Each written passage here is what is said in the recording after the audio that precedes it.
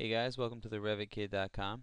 So today I'm going to show you a quick tip using an RS client someone created for creating topo surfaces. So first I have Revit 2012 open, I'm in the site plan, and I'm going to go to massing and site and creating a topo surface. Now I'm going to open this RS client, I have the links on the blog, click run, and you're going to run the little piece of software called AutoClicker.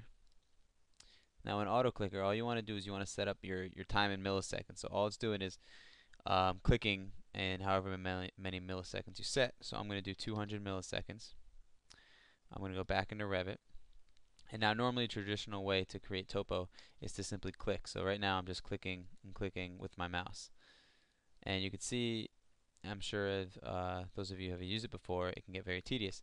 So with the software now, what you can do is using the F6 key, it'll start the start the auto clicking software. So I'm going to click F6 now.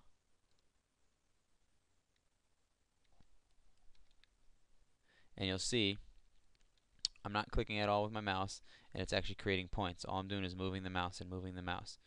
So the, sl the slower you move the mouse, the more points you'll get. The faster you move the mouse, the less. And then if you want to stop it, you just click F2. And so that's really it. Uh, hope this guy helps you guys out, and I'll talk to you soon.